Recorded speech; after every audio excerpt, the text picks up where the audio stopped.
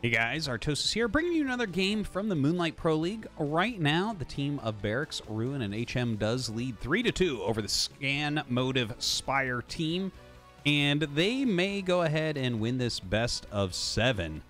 We'll see about that because we have Barracks here in the bottom right, a Polypoid, certainly one of the strongest Terran players in the world, and probably considered the strongest player uh, in this particular show match series. Barracks is uh, incredibly strong. He's been making into absolutely every ASL and even past the round of 24 occasionally.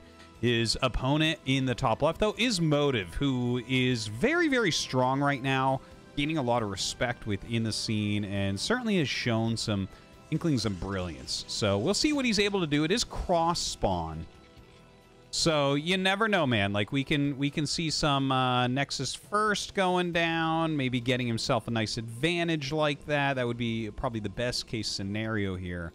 Uh, but as far as Barracks goes, we don't really know what type of style he wants to use. He's pretty flexible overall. Uh, definitely one of our fastest players, even though right now Motive Motive must be holding down keys at 700 APM. That doesn't even make sense. Uh, but yeah, definitely looking forward to to seeing how this one plays out, and maybe we're going to be able to tie this up and bring it to a little game number seven. Uh, of course, there's a winners league match after either way, uh, and then a super ace if it is all tied up there at the end. Now. one thing I want to mention before we get too far into this Nexus first cross spawn game uh, is that you guys should uh, you should subscribe. You should go ahead hit that notification button as well because well Artosis Cast is back and I hope that you're enjoying it. Uh, I certainly enjoy doing it. Thank you for your patience as I have been trying to settle down in Canada in my new home. Uh, but yeah, thank you for watching, guys. I do appreciate it. And of course, leave a little comment down there. Always like to see it. Uh, so, right now we have uh, Barracks scouting to the north, and it is Nexus first. Now, we're going to have to see if he N scouts, which is much more popular. I would say that N scout we see like 90% of the time in Terran versus Protoss, which means they do the letter N, right? So, if you're here, you scout north, and then you scout across the map, and then north, right? So, it's kind of like a letter N, and it can go in either direction. It doesn't really matter. You go like that, whatever. Right. Uh, and the reason for that is close spawns, you can bust Nexus first every time. Cross spawns, it's very questionable whether or not you're going to be able to kill off that Nexus first. Uh, so, yeah, we're going to see about that. He is going for that N Scout. So what the N Scout tells us is there's no punish at all available for hitting this top left base. Like, he would have to throw down his third depot about you know, in the next few seconds here. He just doesn't have any intel. And if his opponent's doing like a regular, like ranged expansion, he's just going to be far behind. So uh, what we're going to expect here is just a command center coming up. Oh, wait. Wait, wait, wait, wait, wait, wait, wait. He made a third depot. So that that means he does have potential to attack. Now, as we can see, only one Zealot's being made. This is very, very greedy, what we see from Motive. Uh, which means that if we do see a Marine SCV Vulture pull, there is a possibility that Barracks can bust this Nexus. Of course, if you attempt this and it doesn't work, you die.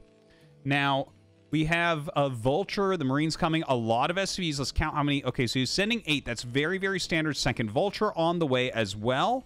Marine still coming out, and this SCV gets pulled back. So this is very standard stuff we're seeing, but the thing is, it's very far to go cross-spawn uh, for a bus like this. We're going to see if that works out for him. Shield batteries, two of them going up. Of course, this pylon is the only one, uh, you know, powering those shield batteries, so that could be an issue later on. Although it's not that common to power down uh, pylons. They have a lot of health in StarCraft 1. Kills off that first SCV, but that's okay. That SCV was not that important. That was a scout SCV. Now, here come the rest. Oh, God, he actually loses it. A bit of a mistake right there. The probes getting in on top of these Marines. This is a terrible moment right now, but he does micro well, pushes everything back. The actual SCV count going down a little bit. A good probe drill here, catching these vultures. Look at the dancing of that vulture. Oh my god, this is almost held already. Now, the bunker is up. Let's see if he can get his Marines into it. Some great targeting from those Dragoons.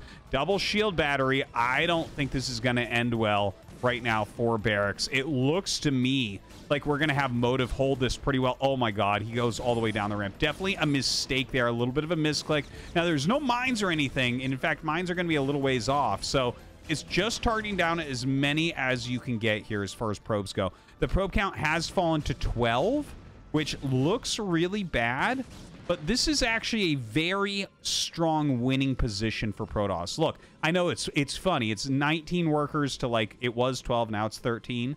But right now we have goons that are about to have range and a second nexus. So he can make two workers at a time nonstop and nothing actually going on for barracks.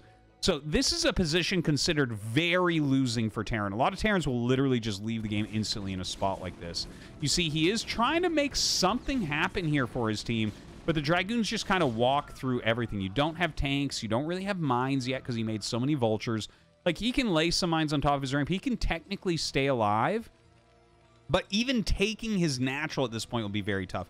We see that a starport is on the way. Oh, God. Yeah, you know what? He's not even going to stay alive at all. The Dragoons get up right before the mines get out. So this is literally game. I think Barracks is just going to GG. That's it. Tied up. Going on to game seven.